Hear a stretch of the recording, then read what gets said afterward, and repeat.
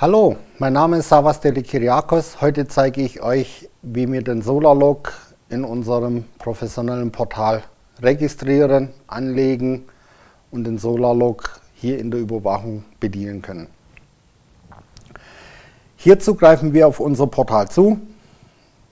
In unserem Beispiel heißt das Portal support.solarlog-web.de in der Praxis wird das natürlich euer Portal sein, wo ihr entsprechend über euren favorisierten Zugriff euer Wunschportal aufrufen könnt und dementsprechend hier den Solarlog anlegen könnt. Sobald wir auf das Portal zugegriffen haben, loggen wir uns oben rechts mit unserer E-Mail-Adresse und unserem Wunschpasswort ein. Klicken dann oben auf den Menüpunkt Administration, Anlagen verwalten, fügen hier eine neue Anlage hinzu, wählen die Installationsart aus, legen den Datenlogger manuell an, hinterlegen eine Anlagenbezeichnung. Diese kann jederzeit abgeändert werden in unserem Portal hinterlegen die Seriennummer des Solarlogs, klicken auf Speichern und nun wird dieser Solarlog in unserem Portal angelegt. Sobald die Anlage angelegt wurde, muss diese natürlich noch abschließend konfiguriert werden, bevor das Portal mit diesem Solarlog arbeiten kann. Hierzu öffnen wir nochmals die Anlage.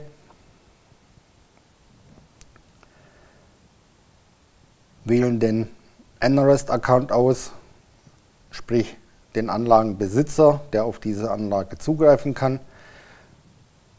Diese Konfiguration ist notwendig oder diese Auswahl ist notwendig, damit hier der Anlagenbesitzer, der Endkunde auch die App nutzen kann. Wählen das Wunschpaket aus, in welchem die Anlage betrieben werden soll. Für den vollen Funktionsumfang ist natürlich das XL-Paket notwendig.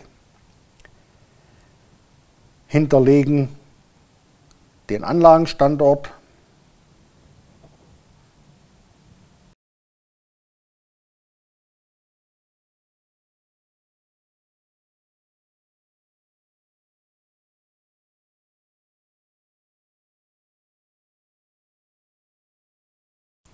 konfigurieren den Eigentümer.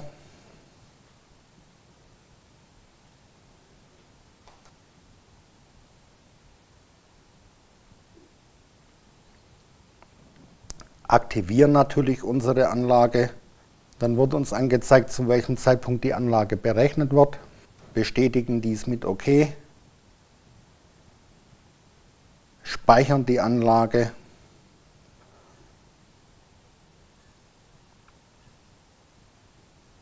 Und unter dem Reiter Zugangsdaten sehen wir die relevanten Zugangsdaten, die im Solarlog konfiguriert werden müssen,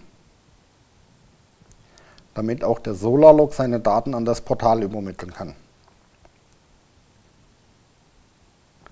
Nun rufen wir unseren Solarlog auf, geben unter dem Menüpunkt Konfiguration Internet Portal nach Aktivierung der Übertragung den Portalserver an, stellen das Übertragungsintervall ein, speichern und haben nun die Möglichkeit, eine Testübertragung durchzuführen.